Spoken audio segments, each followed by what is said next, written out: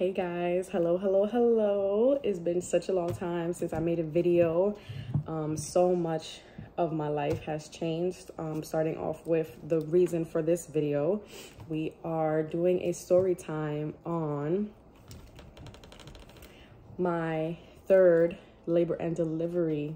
I had another baby. Isn't that so crazy, you guys? It's been such a long time. So much of so much has changed.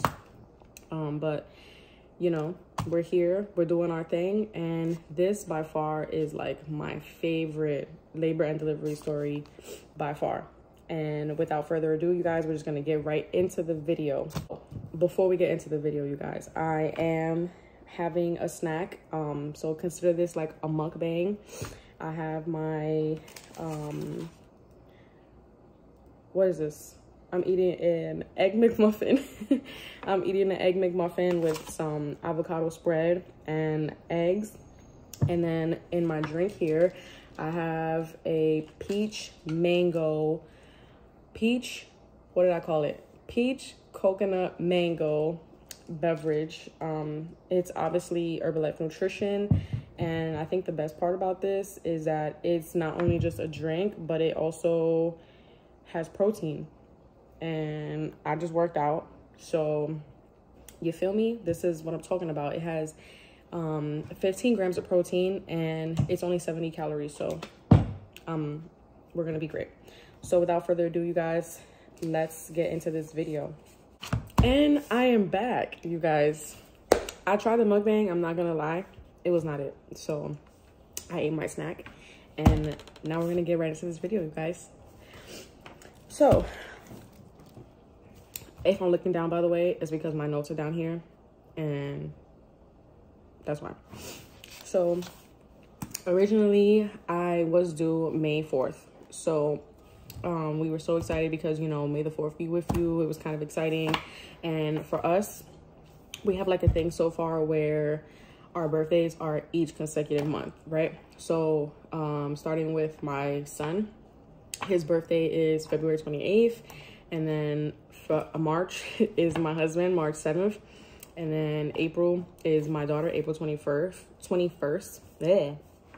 And then um, we didn't have a May. And then June was my birthday. So because our baby was due May 4th, we were super excited. We wanted her on May 4th.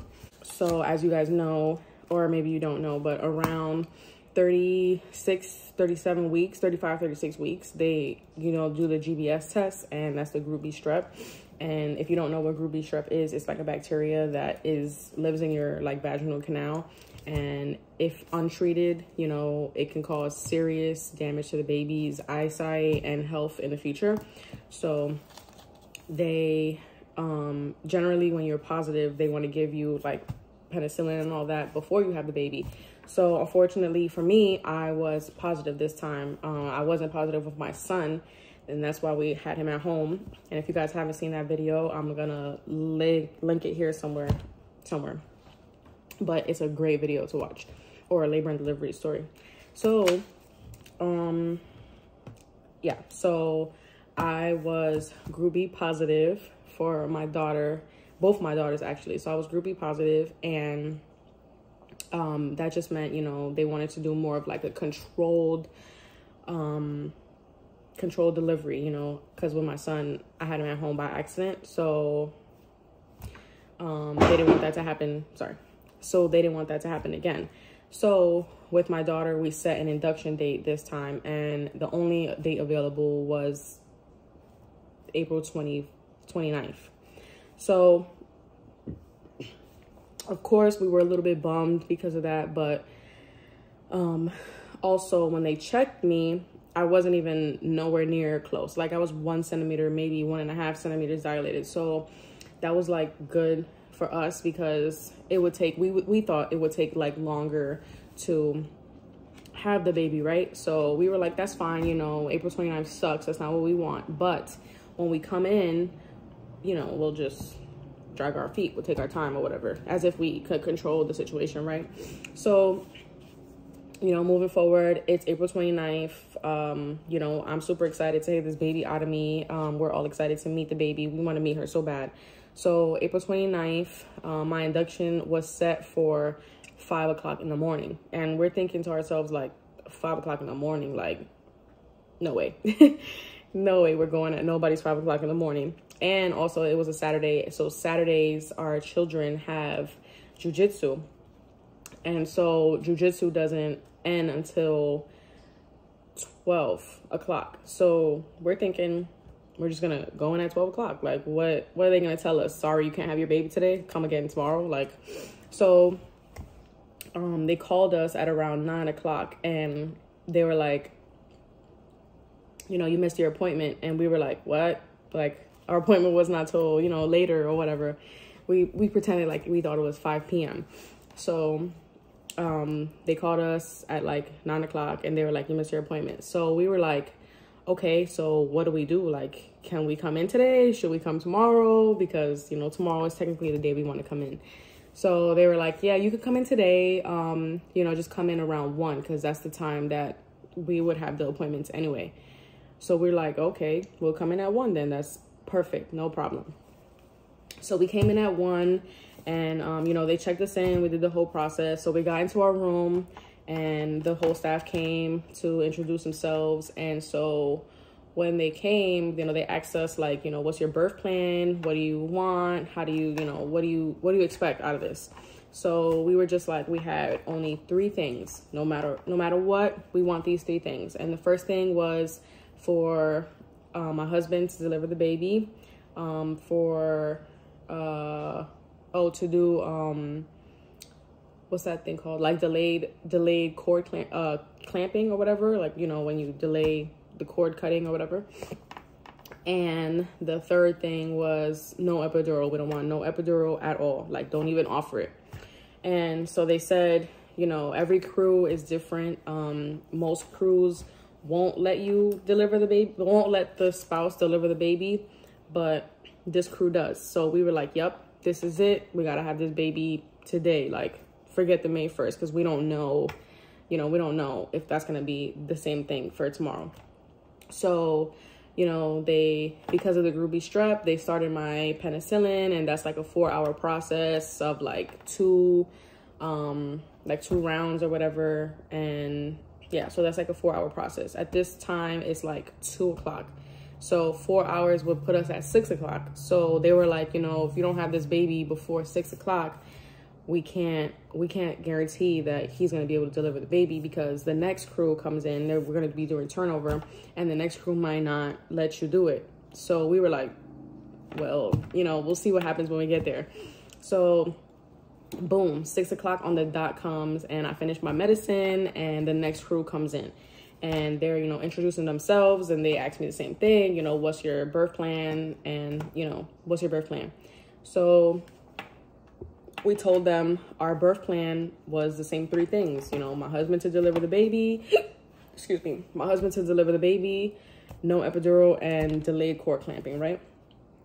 So they were like, we can't, we can't do that. Like, we are not allowed to let anyone else assist in, you know, delivering the baby.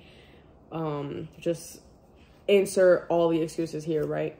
So, you know, we're thinking like, well the last crew was okay with it and you're telling me it's not it's not okay like it's not even allowed it's not even legal like my husband is a, a emt he's done this obviously three other times successfully before or two other times successfully before. And on the job he's done it successfully. Like it's been plenty of times you know he has plenty of proof that he could do it successfully. And they're like yeah no we would never my license blah blah blah blah every other you know excuse. So we were like, okay, um, you know, give us, we need a minute. Like now we need to talk about this. So they went out and um, it was, it's perfect, y'all. So I'm gonna, I'm gonna like break it down for y'all, right? So they went out and out of the room. Um, and you know how there's like the, the doctor, the nurse, and then the people like under, under them that help them or whatever. So one of the people, the like bottom, like one of the bottom of the barrel people, she's my friend or we work together and she was overhearing them say like you know they're allowed to leave if they want to and without receiving care today they're allowed to do that we're not going to tell them they're allowed to do that but they are allowed. So maybe they might do it. So we're not going to tell them just in case and let them, you know, figure it out. So she hears that. And then um, while we're in the room, we're calling other people because we know nurses too. Like there's people that we that work at the hospital that we're friends with too. So we're making phone calls and we're asking people like, you know, are we allowed to leave? Like they're telling us that they don't want to like they can't do what we what we want. Like they can't they can't honor our breathing plan. It's nothing crazy. It's just regular stuff. So they're telling us they can't do it. So are we allowed to leave without receiving care? She's like, absolutely, you can. You just have to sign a paper. And of course, it's going to make them upset. They're not going to like it, but you're allowed.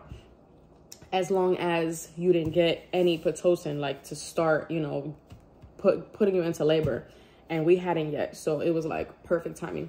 So, so then the girl comes in right after we just got off the phone. The girl comes in and tells us what they just said. And so now we're like, definitely, we're out of here. Like, my mom is in the room with us. It's me, my mom, and my husband, right? So my mom is in the room. The girl comes in and tells us that my mom is already packing up the room. Like, she's she's not playing, right? So she's already tracking. We're not doing it. So my mom's packing up the room, and then the doctors, the the whole team comes back in, the whole crew. So they're like, "Yep." Uh, they brought now they brought their like higher doctor, right? And so he comes and he's, you know, sits down. He's very like, we're not going to do this. I heard you wanted to do this. We're not doing it.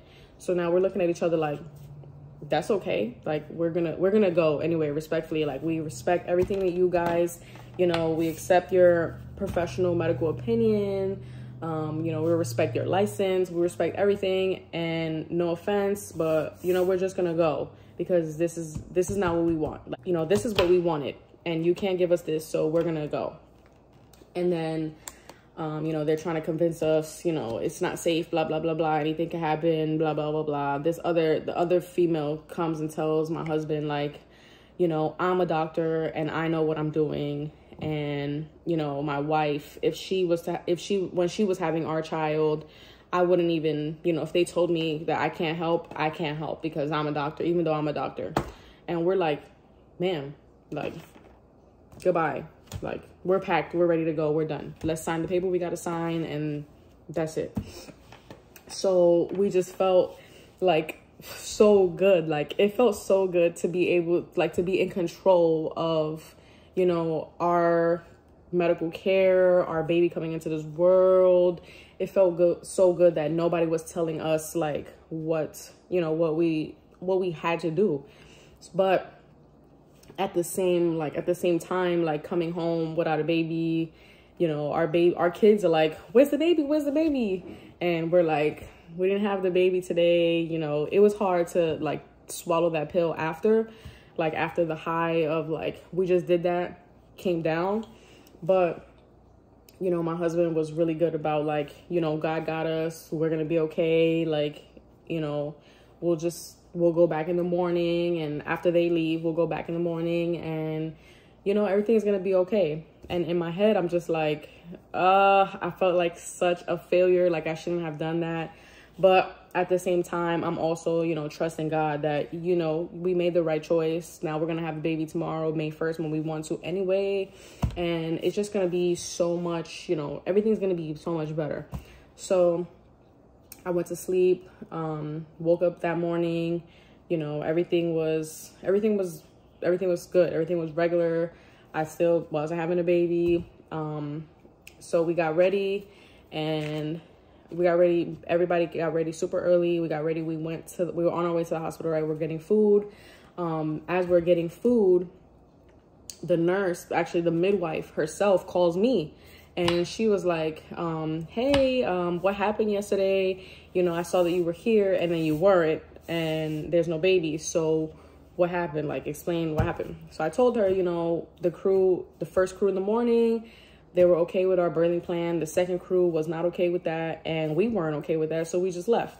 And um, she was like, okay, what's your birthing plan? I told her the same three things that we wanted. My husband to deliver the baby, no epidural, and delayed cord clamping. She said, where she said, how, how soon can you be here? I said, we're right up the street. We could be there in 10 minutes. She said, all right, come on in and we, we got it. Like everything you want, we'll do it. So already we're like, whew, like already it's better. It's already it's already a good experience, right? So we came in um and everybody's waiting for us. The room is ready. Everything is, you know, everything is everything is laid out already because we were already there the day before. So we came in. Um, she was like, you know, even though you got your penicillin yesterday, we want to just give you one more round just to make sure. And I'm like, hey, do what you got to do. You know, it's eight o'clock in the morning. We got all day. Okay. So um, she started my penicillin. This time it wasn't four hours. It was quicker because I already had my first round. So, oh, it's May 1st now, by the way. So we came in, we got our penicillin. Um, she said after the penicillin, she would check me. So she checked me and I was still only like two centimeters now. So two centimeters, she was like, I could break your water now, or we could just wait and let stuff happen naturally. I said, ma'am, break my water. Break this water. Let's have this baby. So she's breaking my water. And then it's so funny because she, she said my water, my water bag my yeah. She said my water was like a freaking bag of steel. Like it didn't want to break. There was no way it was going to break by itself. My that baby my baby was in there. Like she was in there for good. So she broke my water and it hurt. Like she was like tugging and like it i don't know. It was it was crazy. But um so she broke my water finally and um we i sat up. She sat me up in the bed and we just was talking for a little bit and then like it gushed out finally. So after that i felt more like i felt better. Like i knew this was going to start happening. Like everything was going to be great. And so again i have my mom in the room and my husband. I'm only allowed two people at a time right? So my sister oh that's another thing. My sister was on duty april 29th right? So april 29th she had to be on her on duty 24 hours. So she couldn't leave just in case the baby came or whatever. She couldn't leave so it was like everything, I'm telling you everything, like the next day, May 1st, she was off duty. So everything was just aligning so perfectly that it was it was meant to be May 1st. So we was waiting for her to come like to drive from San Diego to where we were, which is like a 30 minute drive maybe, like in the morning on a Sunday. So she drove from the hospital to me and I'm, you know, sending her messages every like everything that happens, like we just checked in. They just broke my water da, da, da, like everything, right? So, um, yeah, so they broke my water. The water is gushing out, and now I want to go for a walk. So I'm going for a walk. We maybe did like three, four laps um, around the hospital, and my husband's recording the whole thing. It's kind of funny. And so finally she comes while we're on our walk. So now her and my mom, they just start like swapping out, you know, everything that, that like as labor progresses. So, um, yeah, so labor progressed and it took a long time. Um, they gave me, they started my Pitocin after a while. I didn't want to, I didn't want to walk no more because I didn't feel like anything was really happening. So they gave me my Pitocin and, you know, they put Pitocin up, like they start you at like two, I think, and they put it up every like, I don't know, maybe like every hour or so. But I already know me, my pain tolerance is through the roof. So put my joint up like every 30 minutes, put my joint up. So they started putting my thing up and, um, you know, it started, it started doing this, it started doing its job. It really did. It started doing its job. Um, I think maybe around like seven, maybe six or seven, I really started feeling it. Like it was, it was getting crazy. It was getting crazy around that time.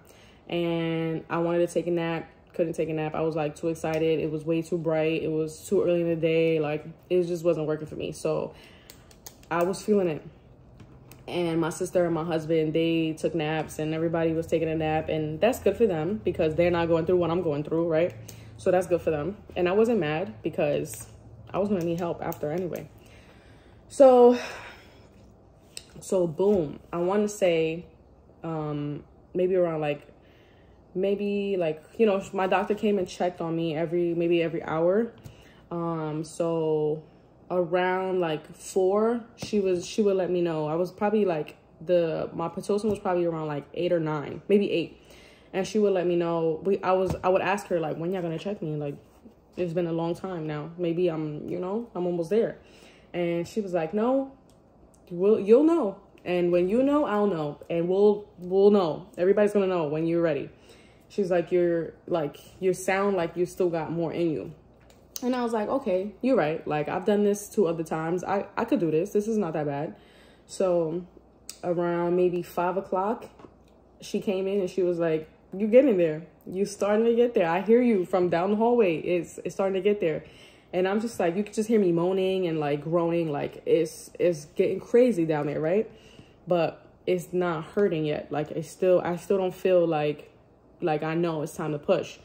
And you know, if I'm being honest with you guys, like I was a little discouraged in myself because every other time that I've had a baby, somebody has told me, you know, it's time to push. And so it's like, all right, like, good, thanks. Like, I, we can go now. Like, it's game time. But this time, she's telling me, like, you're going to tell me when it's time. And I'm like, I don't know if I can. I don't know if I could do that because I don't know. I've never had to do that. So, you know, I was a little discouraged and not, you know, as um, confident in myself, I guess. But, uh, you know, I just, I put that in the back of my mind because my body will tell me when it's time, right? So I think around 5.15, and I'm being very like, I don't know, I don't know that well because I obviously wasn't looking at the watch, at the clock and it was just, it, everything happened so fast. So I'm going to say maybe around 5.15, I'm I'm sitting on the ball this whole time, mind you. Like the whole time I'm in, I'm getting my pitocin. I'm sitting on the ball because it just feels good. So, um, sitting on the ball, I'm bouncing on the ball, and I'm like bent over, like over the bed. I'm like this on the ball, like bouncing on the ball and like over the bed. And at 5:15, I I kid you not, you guys. I told like, I said nah. I told my husband I have to push. it's time. It's time to push. I gotta push and he's like, yo, like telling everybody, like, yo, get the get the get the doctor, tell everybody, go get my go get Judy, my mom, and Kiara, my sister, and my mom switched. So my mom came in the room finally, and Kiara was in the hallway waiting. And as soon like as soon as everybody came, I stood up from the ball, you guys. I couldn't. There was blood. There was blood on the ball, obviously, because the baby's about to come out. And I couldn't even like roll onto the bed. Like I was about to I was about to push standing up. Like it just hurt so bad I couldn't even get on the bed. So I stand up from the bowl. It just felt like like everything just came down, right? So I got up. I'm standing up now. I can't roll on the bed and everybody's in now and I'm just like I feel so I don't know how I felt. Like I felt kind of embarrassed almost like what if it's not time? You know, like what if what if I just called everybody in here and it's a false alarm? Like, it was just so many things going through my mind at that time. So, you know, everybody's like, no, don't worry about it. Like, if you're telling us you got to push, you probably got to push. So finally, I just like throw myself on the bed. I roll onto the bed like during a, a contraction because my contractions are coming. I mean, not during contraction, during a like downtime or whatever. My contractions are coming like, like rapid fire. Like it's, it's not, it's almost like not healthy, right? So they put my Pitocin down a little bit because it's on 10 now and it's too it's too much. So they put it down a little bit. I get on the bed when I'm while I'm not having a contraction mad quick and throw my legs up and everything and they look, the baby's head is already there. Thank God. I am so relieved because I'm thinking like, oh my God, I hope this is not a false alarm. I just called everybody in here and I'm not even ready. I don't know what I'm doing. I'm I'm crazy, right? But baby's head is there. They see the hair. Everything is great. Um, I'm lit. So, um, you know, like regular wafer contraction. And I kid you not, three contraction, three pushes later, she's out, bro. Like, it was crazy. It was so crazy. And she was born at 1732. So between like 515-ish and 1732, my baby was out. Yep, and that's that's all. It's everything I got on my notes. And she was born eight pounds and 13 ounces, which is a little bit of a disappointment because my son was nine pounds and two ounces and my daughter was eight pounds and three ounces. So I'm not like, I'm not tripping because my daughters are eight pounds. So my son is nine pounds. So I'm thinking that's okay. You know, I'm okay with that. Um, and I'm parched. So give me a sec.